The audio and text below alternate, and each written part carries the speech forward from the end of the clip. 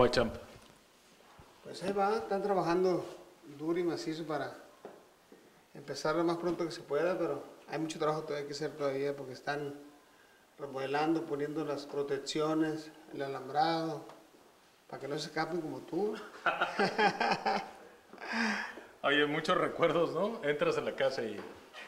Sí, la verdad, este, sí, como que me entra un poco la nostalgia, ¿no? Porque en esta casa viví muchos recuerdos, eh, muchos recuerdos bonitos, pero también muchos recuerdos tristes. Aquí, con todo respeto de la, de la audiencia, aquí este, me drogaba mucho, pero también aquí crecieron mis hijos. Tengo momentos muy bonitos, mo- momentos muy... ah, recuerdos muy bonitos y a la vez muy tristes también. Y es por eso que opté por, por hacer la clínica, porque aquí pues nunca pude recuperarme y, y siempre tuve la ilusión de recuperarme, entonces la hago con esa ilusión de que si yo no pude, otra gente sí va a poder recuperarse en esta casa. Es como darle una vuelta a una gran página de tu, de tu vida, ¿no? Sí, definitivamente darle una la vuelta a la página completa y empezar una nueva vida aquí en esta, en esta casa. Que, uh, si esta casa hablara. Ay, Aquiles, si esta casa hablara, la verdad. No, no, Contaría buenas historias. muchas historias muy, muy buenas y también muy malas, la verdad. Eh, pero me quedo con lo bueno, me quedo con lo bueno y, y- y lo- y es por eso que eh, con el dolor de mi corazón yo no quería, la verdad, que esta casa fuera clínica, pero viendo todo la problemática que hay en Culiacán, tanta gente que me pide la ayuda, y mucha gente me lo, pidió que pusiera una clínica aquí. Bueno, dije, pues, ¿por qué no ponerle mi casa, no? Entonces creo que al gobernador, al presidente municipal, a todos, eh, les ha caído muy bien la idea, eh, porque hace, hace falta una clínica aquí en Culiacán y creo que esta va a funcionar. Y bien. Y bien, seguramente sí. Oye, a ver, cuéntame un poquito. ¿Esta era tu habitación, la que está de este lado? Eh, sí, pero ya está todo, ya como ves, está todo desarmado ya, ya desarmamos la cama, ya sacamos los muebles, todo. Sí, aquí, y aquí me, me,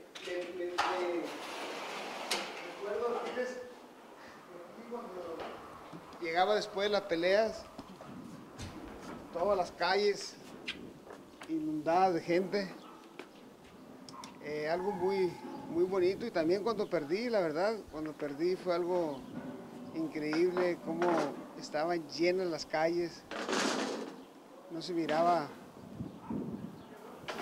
nada más que pura gente y la gente llorando, la gente muy triste porque había perdido.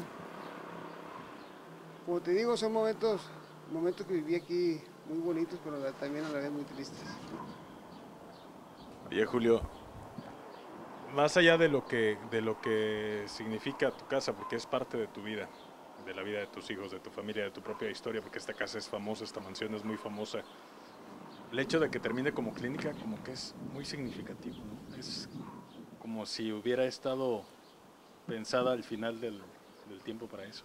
Yo creo que Dios, Dios me tenía eh, preparado algo, algo bueno al final de, de, de mi vida, porque pues ayudé a muchísima gente cuando, cuando tenía, cuando era campeón del mundo, que mucha gente estaba necesitada, me iba a las colonias a repartir dinero, a repartir despensas, y lo hacía sin ningún, sin, ningún beneficio para mí, simplemente lo hacía porque creo que Dios me había regalado demasiado. Y en esta casa, como te digo, eh, pasaron, pasé momentos difíciles en mi vida, estuve a punto de morirme, aquí estuve a punto de pegarme un balazo en la cabeza, aquí este, eh, tuve problemas con mi esposa, Amalia, eh, mis hijos sufrieron mucho, entonces eh, es como tú me acabas de decir hace rato, es como darle una vuelta a la página ¿no?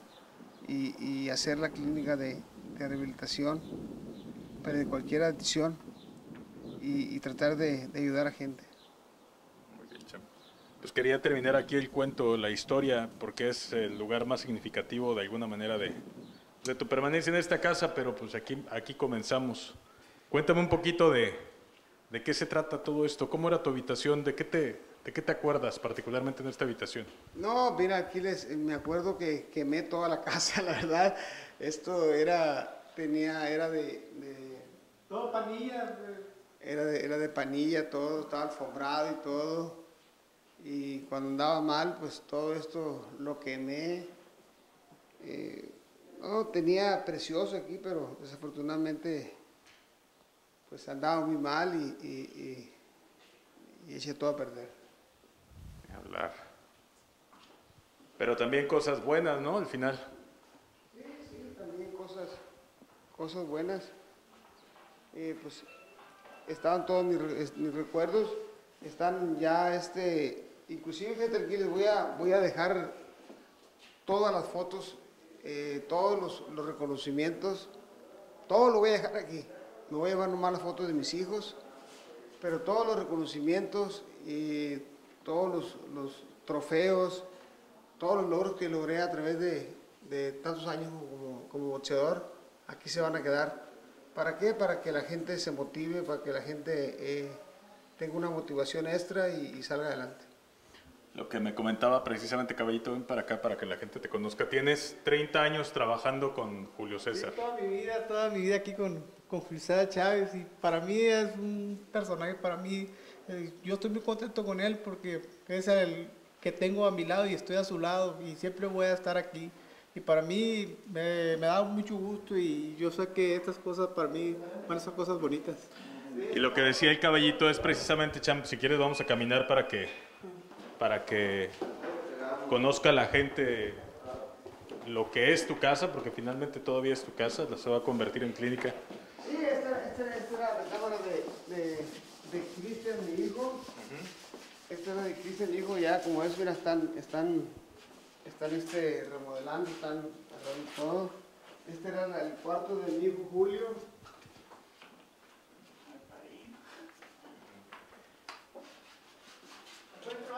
Como ves, todos están en, remodelación, estamos eh, pintando, eh, poniendo, las, poniendo las, las, protecciones, todo. Es el baño, ¿sabes? Acá, grande, ¿eh? Muy grande.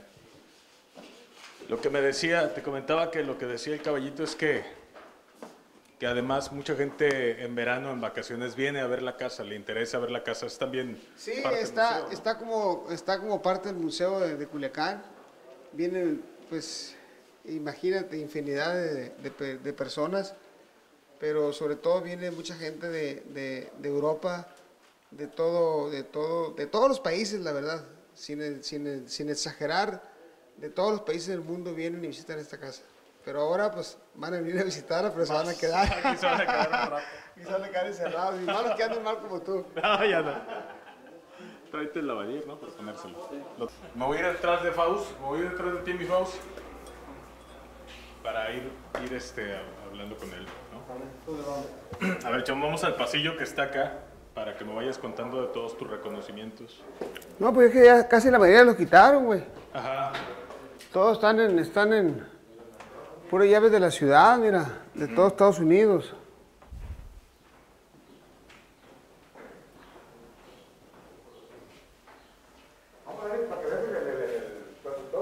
¿Guardaste, guardarías todo lo que te daba la gente, Julio?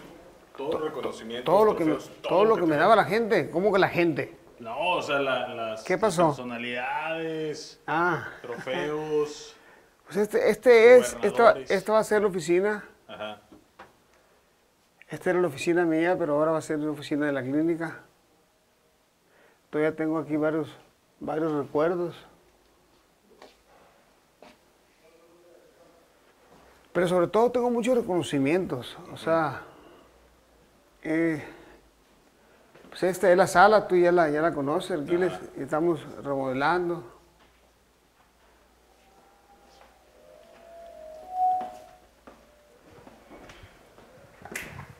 Como te digo, mira, este por ejemplo, Pues este me lo dio, me lo dio el príncipe Reineiro de, de Francia. Tengo muchos recuerdos muy, muy, muy bonitos. Es algo insólito, se puede decir, si te enseñara todos los reconocimientos. Y ya no tienes aquí ni la mitad de lo que había, ¿no? No, sí, los tengo, pero eh, eh, los quitaron porque estamos pintando, estamos arreglando y todo, entonces los, los quitamos. Pero todos mis reconocimientos, todo, todas las fotos eh, se van a quedar aquí, se quedan aquí.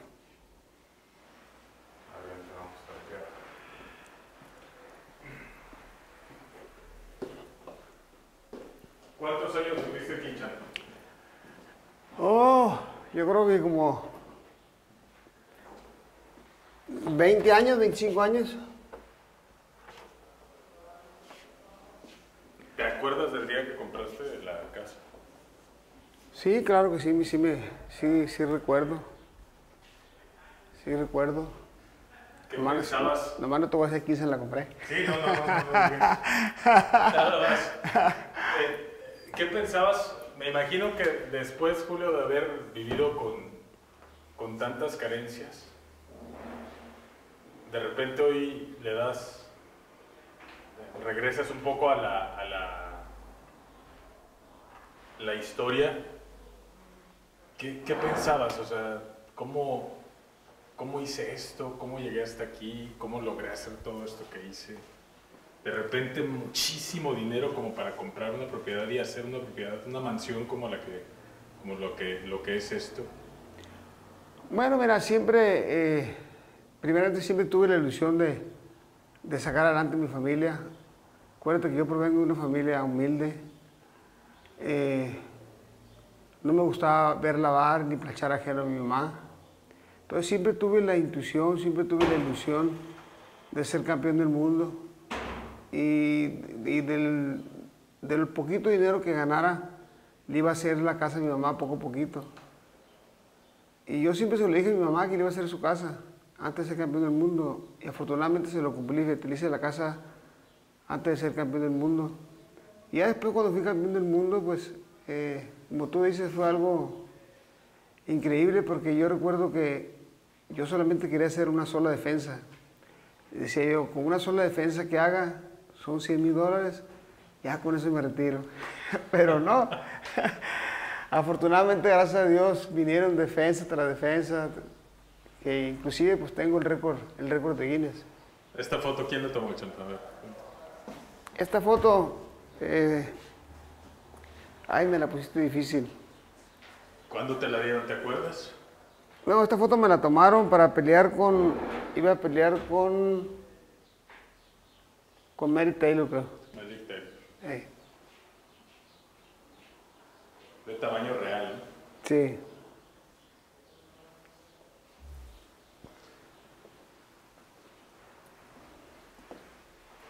Conociste a todos los políticos de la época, digo, fuiste muy amigo del presidente Carlos Salinas de Gortari.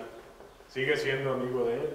Sí, claro que sí. Tengo una buena relación con, con el presidente, la verdad, él siempre me dio muy buenos consejos y siempre se preocupó por que estuviera bien y por eso le estoy muy agradecido. Y en ese, en ese tiempo sigue pasando un poco, ¿no? Lo que, todo lo que trae el cinturón de título mundial, mira Fausto, esta foto que está ahí, precisamente. Todo lo que trae la fama, el dinero, todos quieren ser tus amigos ¿Tuviste algún momento en el que todos esos amigos que no eran tus amigos se alejaron? No, la verdad no. El que se alejó fui yo, la verdad, porque andaba mal.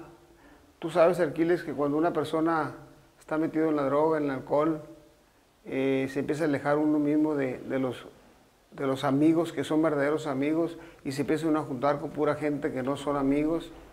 No, la verdad, esa gente siempre me, me estuvo apoyando, la verdad. Y la prueba está de que siempre quisieron que estuviera bien y afortunadamente pues estoy bien. Bendito Dios. todo esto, además de los reconocimientos, ¿tú lo comprabas? ¿Alguien te lo ofrecía? ¿Te lo regalaban? No, eh, hay, hay muchas cosas que yo, que yo compraba, por ejemplo, estos jarrones. Que mi señora una vez que me agarró con, con estos jarrones valen 5 mil dólares cada uno, porque son solamente hechos a mano y los compré en Brick and Rich. Compré como 100 mil dólares de jarrones y mi señora me quebró como 5 en la cabeza. porque, porque me agarró con, no te digo con quién. Yo me imagino con quién. Pero tampoco voy a decir. Oye, Cham, hay muchas imágenes de la Virgen de Guadalupe. Es un referente para ti importante, ¿no? Sí, yo soy, soy, bueno, primeramente soy católico, apostólico romano. creo en Dios, también creo en la Virgen de Guadalupe, y la verdad, yo siempre me encomiendo a, a Dios primeramente y después a la Virgen de Guadalupe. Te hicieron centenares de pinturas, ¿no? De tus fotografías. Sí, la verdad, este es, es algo, algo increíble, la verdad. El cuarto de las brujas, pues tú ya lo conociste, pero ya hasta ahorita está limpiecito, ya todas las, las fotos ya las bajamos, tenemos todo. Tenemos un cochinero, la verdad, aquí en la casa, porque andamos remodelando, andamos arreglando todo eso. Sí, claro. Vamos allá arriba, Cham, para que, para que le enseñes aquí a Faust el cuarto de la bruja. Ese es el cuarto de la bruja porque espantaban, espantan. No, lo que pasa es que tenía una bruja. Ajá, varias. ten- ten- ten- tenía una, una bruja que hablaba. Ajá. Entonces, Ah, ya, ya, ya. ahí por eso le pusimos el cuarto de la bruja, pero ya no hay nada ahí, ¿eh? Ya, ya, también ya. Hay, una, hay un altar a tu papá que es lo que Ah, sí, ese, ver, ese todavía lo tengo ahí. Porque mucha gente sabe que, que naciste de- en cuna humilde, pero no. Nunca he visto una foto de tu papá, por ejemplo. No, pues, pues estará ciego, yo creo.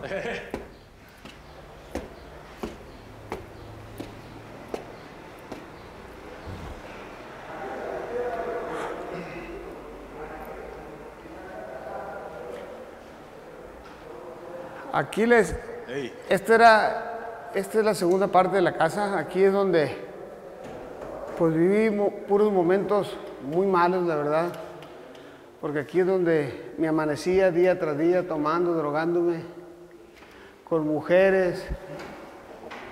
Y después ya que se me bajaba la borrachera y todo, pues aquí tenía, tengo aquí a mi padre que en paz descanse. Y le pedía perdón. Sí, este es mi, mi papá, este es mi, mi hermanito Omar, que en paz descanse, por eso en memoria de él le puse, le puse Omarcito a mi hijo.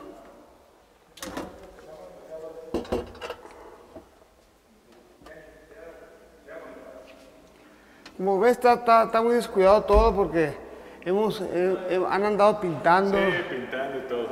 Oye, hay unas fotografías ahí en ese aquel. Sí, este con una cosa, pero hay unas ahí muy interesantes. Mira, agarra esas para que nos las enseñes. Mm, Que se fue a un torneo con Omar, con Omar, Julio, Julio cuando estaba chico. Jugando qué cartas o qué. Aquí no me acuerdo con quién. Está Julio otra vez. Está mi mamá, Omar. mamá de Miriam, mi tía. Y este es el avión cuando peleé con De La Hoya que andaba viajando. Bueno, y aquí cuando Roberto, mi hermano, era boxeador. No soy yo, es mi hermano Roberto.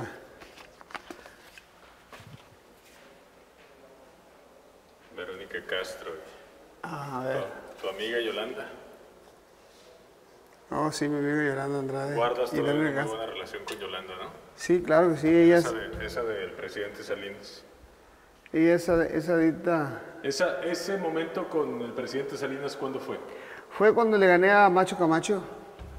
Fue cuando me hicieron el recorrido de, de la Ciudad de, de México. Digo, perdón, en la Ciudad de México, sí.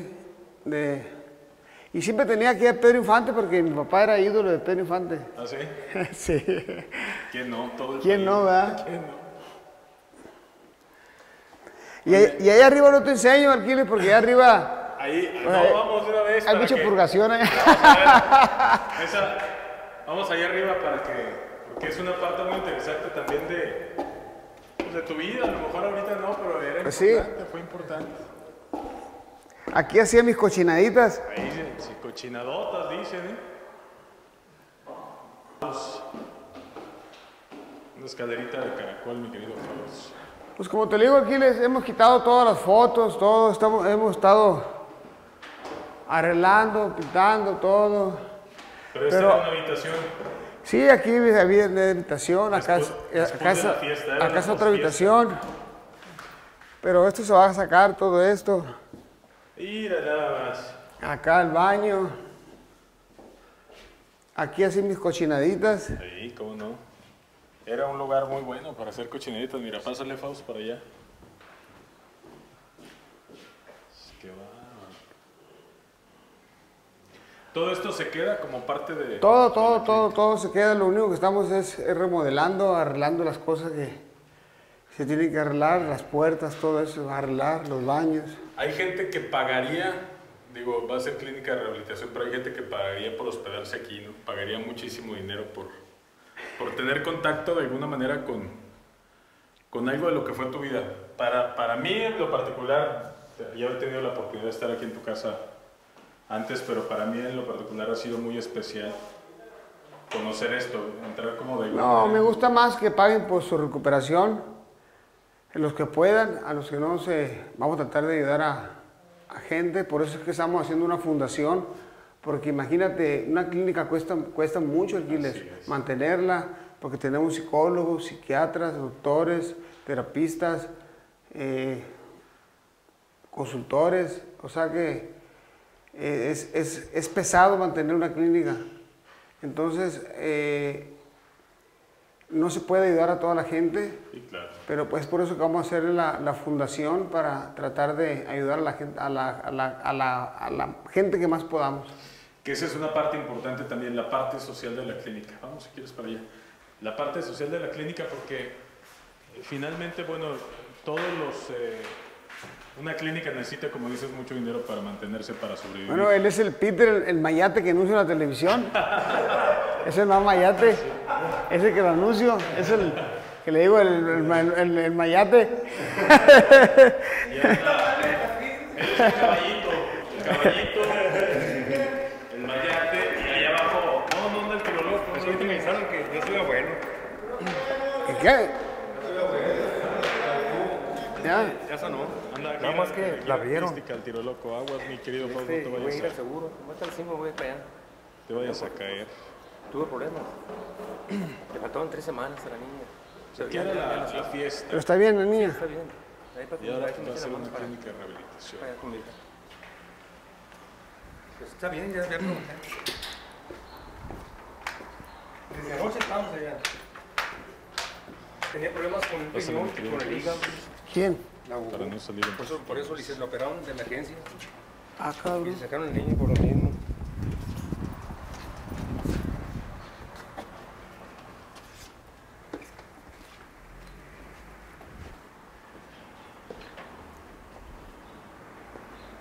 Gimnasio que está ahí atrás te, te servía únicamente para prepararte o alguna vez hiciste concentración aquí en tu casa. No, nunca, nunca hice concentración aquí. Hacía concentraciones, pero de, de otra cosa. No, no, te- tenía costal y, y pera y- aquí en la casa, caminador y todo para cuando quería moverme, pegarle, sacar la cruda, ahí me ponía a entrenar. Echarle un mensaje a, a toda la gente que, que de alguna manera está, tiene una esperanza porque finalmente pues no hay mejor ejemplo que el tuyo, por fortuna, gracias a Dios. Bueno, decirles que sí se puede. La verdad es una, es una situación difícil el querer recuperarse uno por sí solo, la verdad no se puede. Eh, uno siempre necesita la ayuda, la verdad, hay que pedirla. Y aquí tienen las puertas abiertas, aquí en Culiacán, Clínica Baja del Sol. www.com Clínica Bajo Sol.